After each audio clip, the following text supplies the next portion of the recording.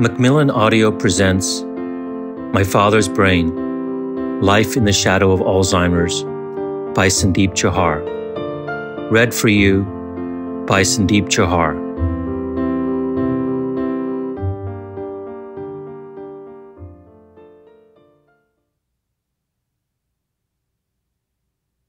Be kind to your father, even if his mind fails him.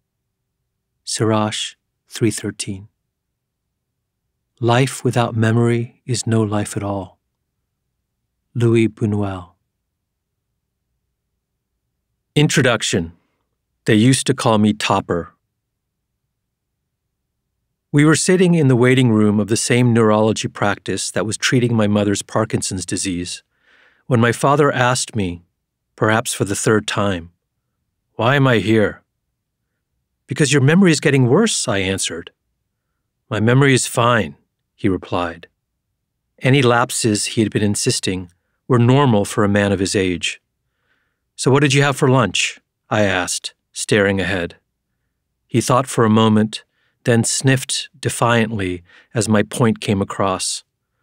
Well, no one can remember everything, he muttered. He and my mother had moved to Long Island, where my brother and I lived several months earlier.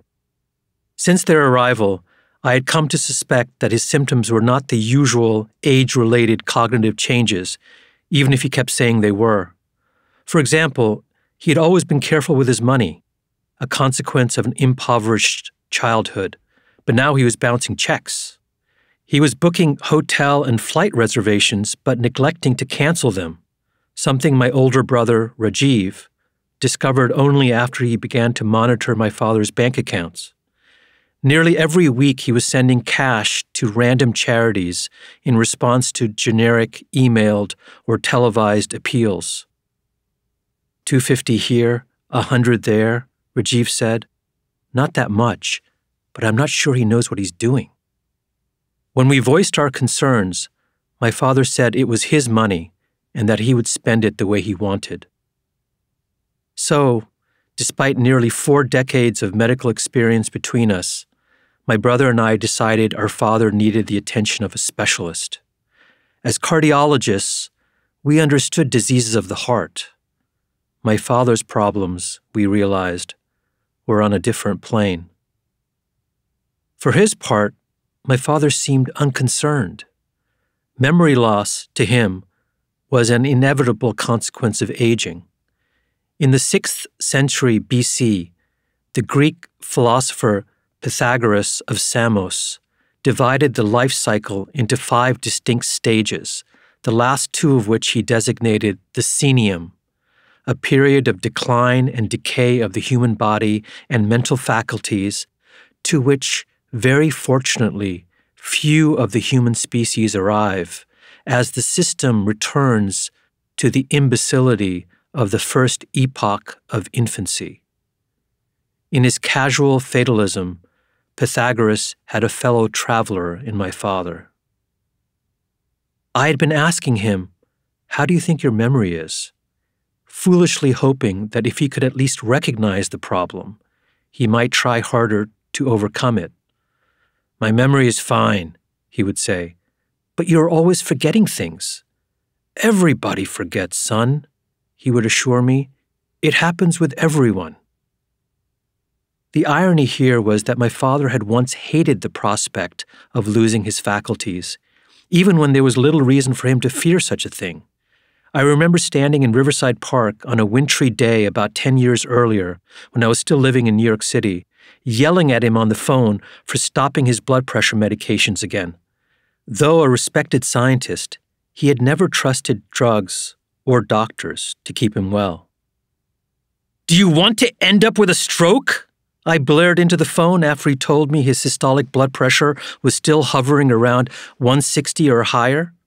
Greater than 140 is considered hypertension. On the rare occasions that he checked it, you won't be able to work. I'd rather be dead, he replied, before agreeing to restart the medications. Yet now here he was, sitting amid vinyl chairs and potted plants, nonchalantly sipping free coffee from the Keurig machine as we sat and waited for his name to be called. He asked me, again, how he could become an organ donor. Once again, I gave him the response he did not want to hear that because of his advanced age, the options were limited. Come on, Sandeep, he implored. I have wonderful organs. We'll look into it, I said, not wanting to discuss his organs in the waiting room. Just tell me where I can get a donor card. He stood up, picking up his briefcase. I will ask here. Sit down, I hissed as people began to stare. You can't tell random people you want to donate your organs. Like you asked that lady at the front desk, Do you know any widows I can give money to? I didn't. You did! That is not how things work. You have to go through the proper channels. You are not telling me the proper channels. Fine. So we'll look it up. But, Dad, come on. You're 76 years old. Obviously disappointed, he began to say something, but then we heard his name, Prem Jauhar, called out.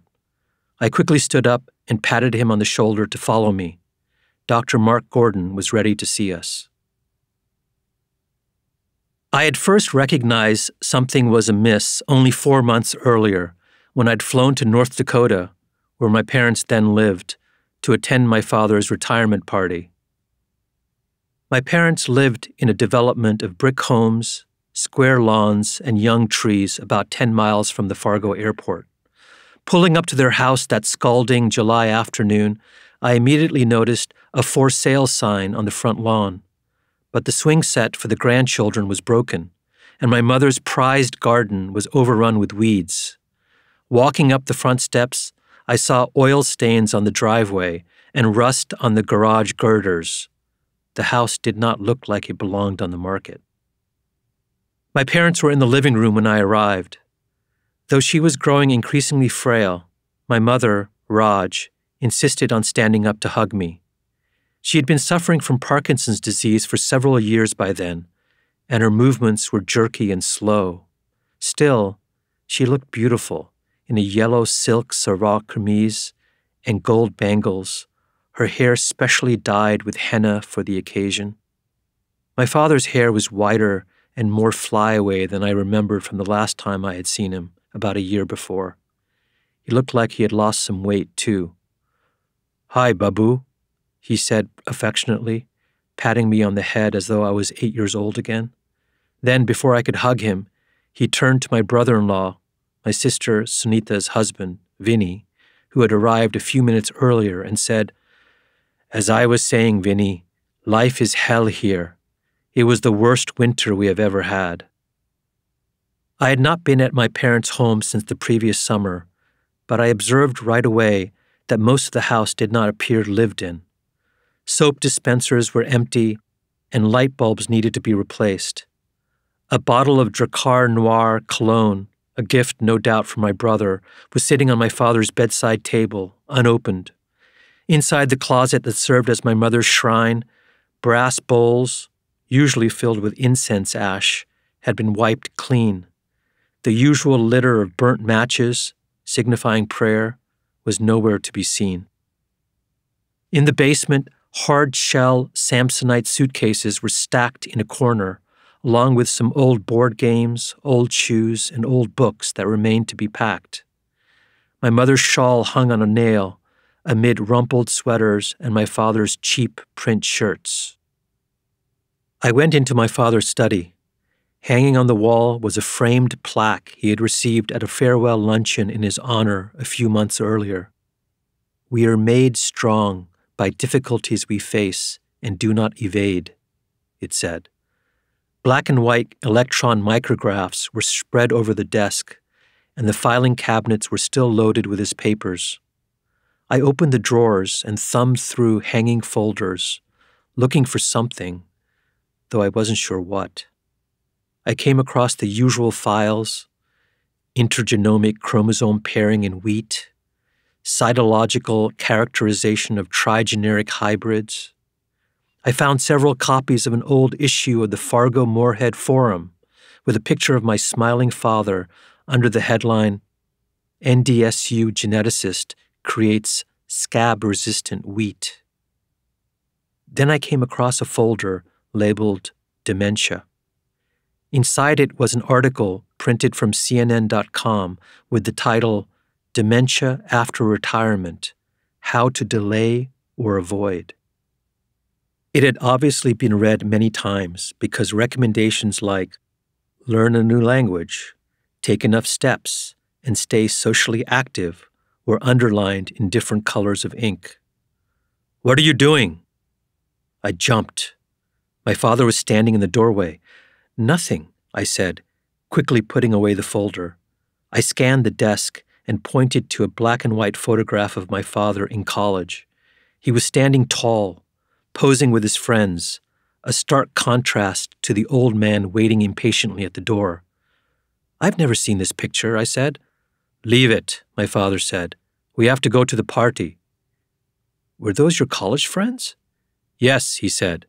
They used to call me Topper because I was always at the top. I laughed. You look so young. You can't be more than 16. I was in second grade before the partition of India, he said. The teacher said I was too smart, so when we resettled, they put me in the fourth grade. I closed the drawer, my heartbeat speeding up. Dad, I think that was me. I was the one who skipped two grades, remember? You met with the principal in Kentucky? I skipped those grades too, he said after a short pause. The same grades? Are you sure? Yes, he said. Now, come on. We must leave for the party. At Dr. Gordon's office, a medical assistant took us into a chilly exam room with a computer, a small desk, and three chairs. A poster on the wall depicted a decaying autumn tableau, a fogged over pond lined with tangles of bare trees and fallen red leaves. The assistant pulled a fresh sheet of paper onto the vinyl examination table and asked my father to sit on it. He did so agreeably, making a quip about how he was still a young man. Then, with an automated cuff, she checked his blood pressure. She put two fingers on his wrist and counted his pulse.